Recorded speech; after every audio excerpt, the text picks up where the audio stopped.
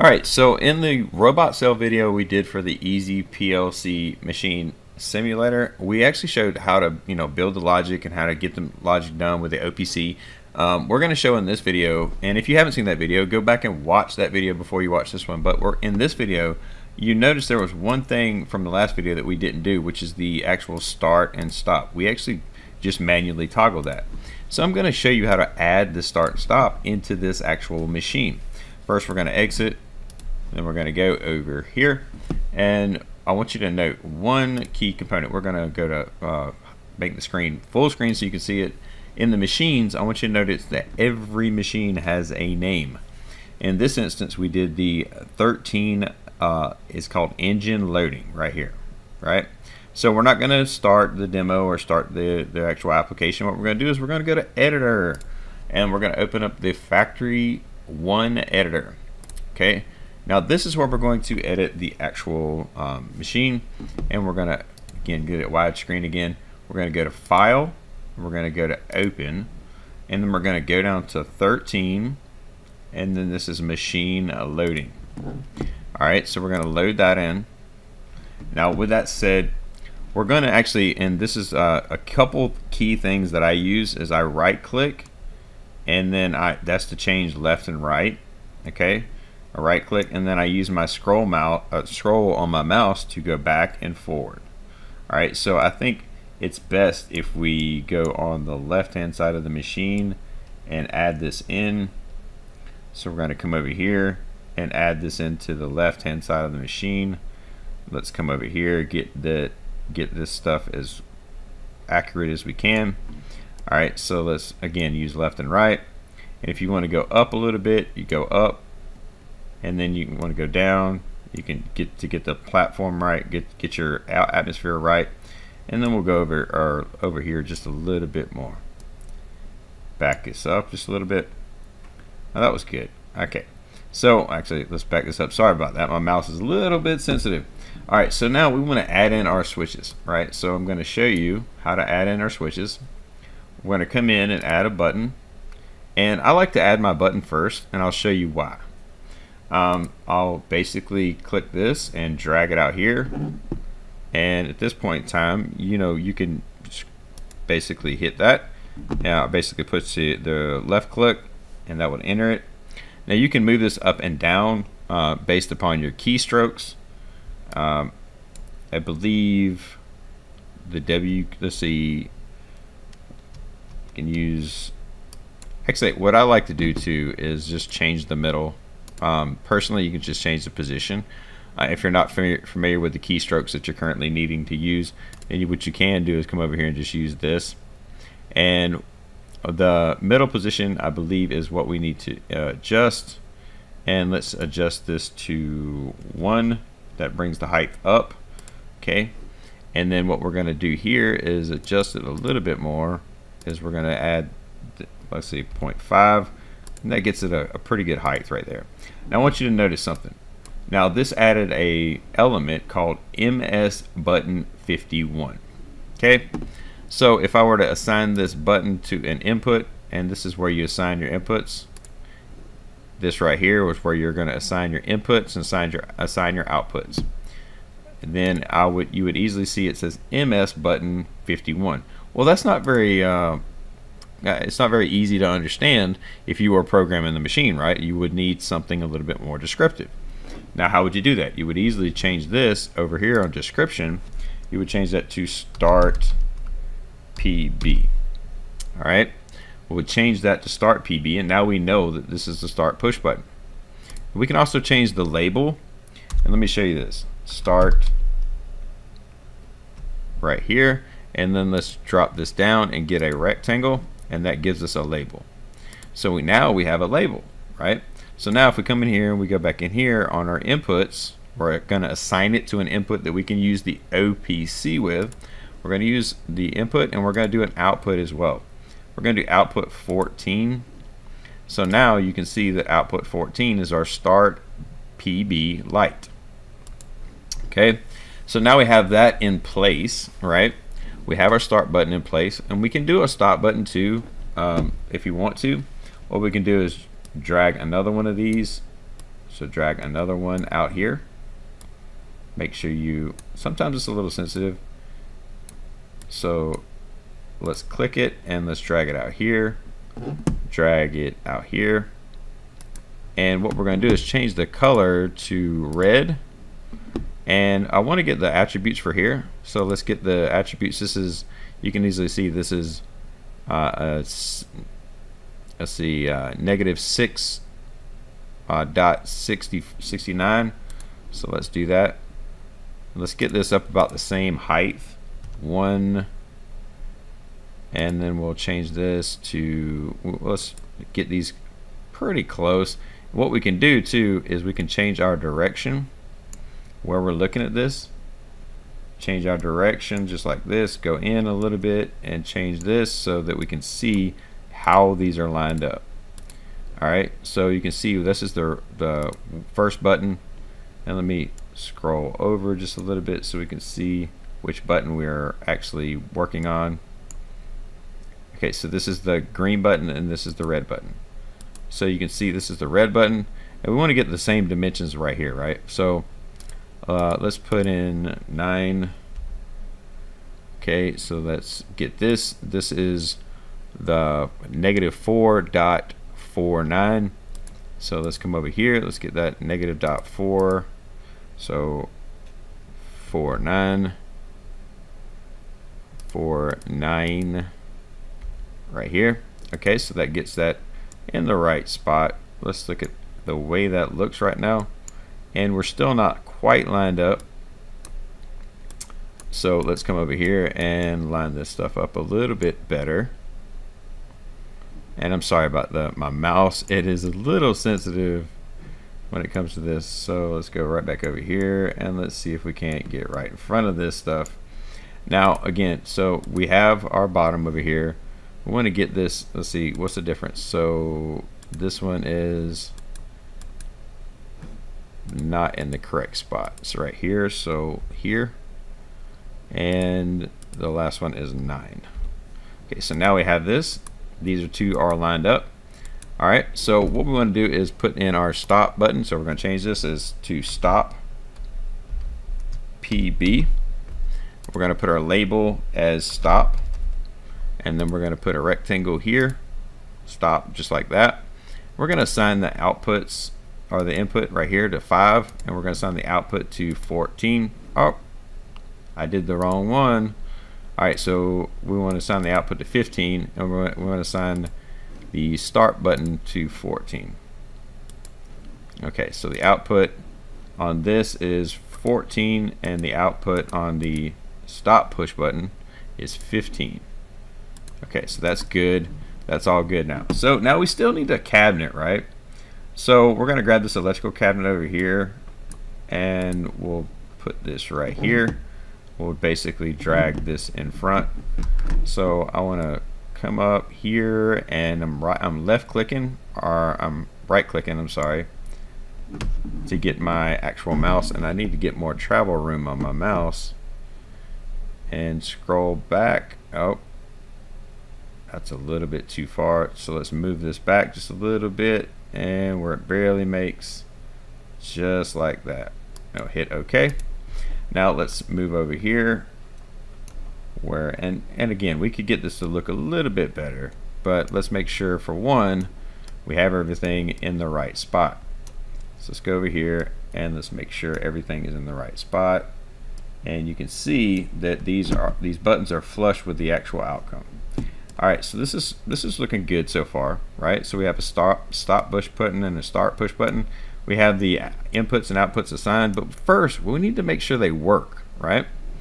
So let's do that. Let's come over here and let's get in front of this as best we can.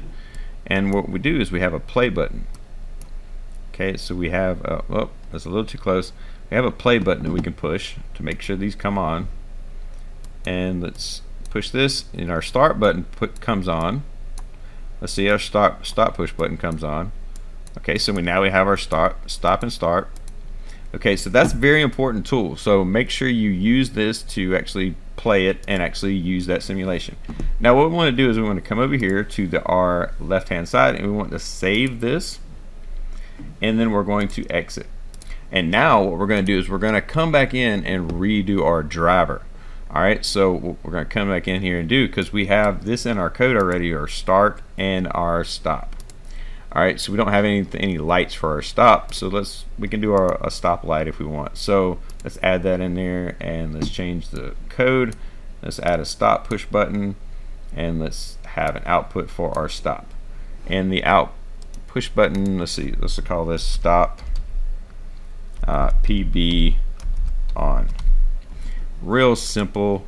Uh, we just want our build it basically just to, to cover the light, right? All right, so we'll save that real quick. And we'll come over here and we're going to go to our machines. We're going to come over here and we're going to start the machine code. Now our start stop push button will be in place. You see that? All right, so we're going to come over here and we're going to basically go and oh let me get into the ground view here. And let's come over here and let's use this over here and make sure we're here. Now let's exit this and we're going to go ahead and go do our driver. I'm going to load in an old driver that I used and we're going to come over here and add this and we're going to edit this driver. So I'm going to add my start push button and our stop push button for our inputs and outputs. I'm going to configure now. I'm going to add these in here. So I do know that I named my PLC code. Oh, I pulled the wrong PLC code up. I was doing another training. Uh, so this is uh, an edit button. So this is, uh, we're going to go to get our start. And our start's called start. And our stop's called stop. So real quick, we can add the input is start and the output as stop and type that in correctly. Okay so stop. Sorry my fingers must have been touching the wrong button so. Alright so we need to add our outputs which is going to be our start underscore PB underscore on. Alright and then we're gonna so that's there. We're gonna add one more. We're going to call this stop PB underscore on. All right, so that's there, and then we're gonna we're gonna basically accept this. Now we're gonna come back in here. Now we have to go ahead and assign these. We can drag these over just like we have before. Um, but if we've we've made the conscious decision earlier to make sure that all this stuff was in proper order when we added it in, so all we really have to do is go to auto assign and it will auto assign that. So now let's go into our code and let's start the driver. Actually, before we do that, let's save the driver and we'll save this as robot cell 2. We're going to overwrite that file. That way we have it now. So we still have our old existing one and we knew now we have our new one. So make sure you, you hit save and rename it if you would. You can rename it 3 or 2. I named it 2 and then I hit save. No big deal. You're going to overwrite a file. Great. So that way we have it later on when we're trying to use it. Now we're going to start our driver and exit. And then we're going to come in here, make sure our OPC connection is valid. Open up RSLinx Enterprise, or RSLinx uh, Classic, I should say.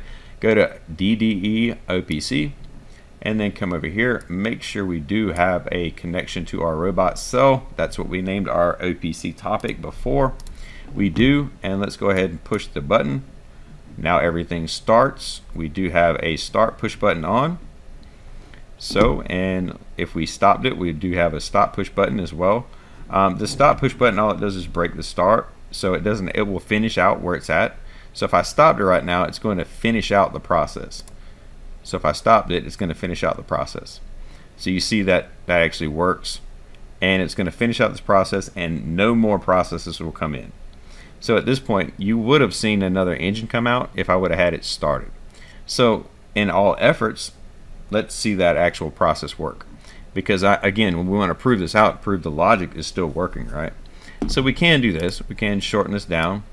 So you can see that the stop light, as long as the start button is not on, the state control will not control, right? So let me hit on.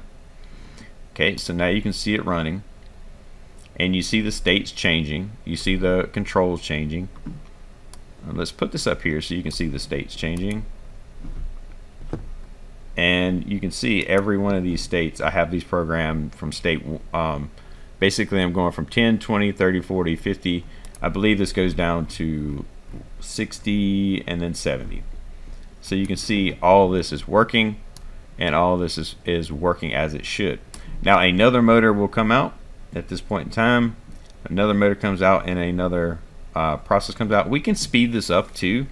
If we wanted to have another motor come out before the crate came out we can change our inputs where our inputs are and change this right? So you can easily see when to when to get apart you know when to come in here and change a couple of these things. So we could speed all this process up but honestly you're not going to get any faster than your crate moving you know how fast your crate moves from point A to point B. And we can come up here and actually trip this and get a, a bird's eye view of the way things are but our start start start and stop push button station is right currently right there on the left hand side. We can see that we do have that all that active now. I know this was a little bit longer video but I wanted to show you how to use the machine simulator and how to edit the actual uh, current machines you're actually working on. Because some things you know is best that you do yourself and you add yourself so you kind of get the better feel of, of a customization and the way your machine should be. Um, and also too adding more controls to it, make it more complex, challenge yourself, right? Again, that's the whole gist of how things should be. And let's actually stop right here because you can, if you stop and hit the fly button or fly control, you can see different angles of how things are working and it just gives you a better pers perspective, right? Again, if you ever go into the personal mode, then you're going to have to walk around and use your mouse and use your keys as far as that goes. But again, I, I kind of like to, if I'm getting a bird's eye view, I kind of like to use this trip feature because it just gives you a, a better feel to, better feel for it. So let's come over here and let's go to right here and let's come into here and let's stop our system. So we're going to come over here and we're going to exit and let's stop the system. We're going to let it actually, and again, we just have that stop light there. As soon as we press it, it goes off. So again, the start, stop, our labels are currently there. Everything's working. It's going to finish out the process here and then it will finally stop. Now, with all this said, hopefully this was a good training to show you how to uh, add different stuff to your um, current projects. Now, granted, this system is always going to be just like this. So I would have to go in here and physically remove this actual start or start stop push button station to actually uh, use this. So um, what I mean by that is if, if I want to have it back to default, then I would have to come in here and, and go do that. Let's do the trip real quick. Let's do the fly camera and let's get a better view. And come over here. And what I'm going to do is just exit this one. And we'll exit it and just show you how to do that. Again you could just come over here and go back to editor and load it back in and remove it. So if we wanted to remove it it's just that simple. Just go back into editor load in your file just like that. Come over here engine load in the file and then again use your uh, left or use your right click come over here and then you would go left and right and then come over here and use your scroll and then you would just tap on these and delete all the stuff that you don't want. It's merely just coming in here picking it right here just like we're doing right now and showing you how to edit that and delete it. So if you just if you didn't want to have to push it with your mouse you could easily go over here find it right here and edit the properties over here. Real simple, real easy. Um, again, I'm going to exit it because I kind of like what we have now. Um, we're going to exit and save. And from that, uh, hopefully you enjoyed that video and you've seen exactly how to add something to your um, Easy PLC Machine Simulator. And again, if you are interested in actually purchasing the software, email me for a 10% discount. Again, um, there he was kindly enough to allow a 10% discount, just email me. You, I'll give you that information, and then you can actually get the actual software. So with that said, we'll see you guys on the next one.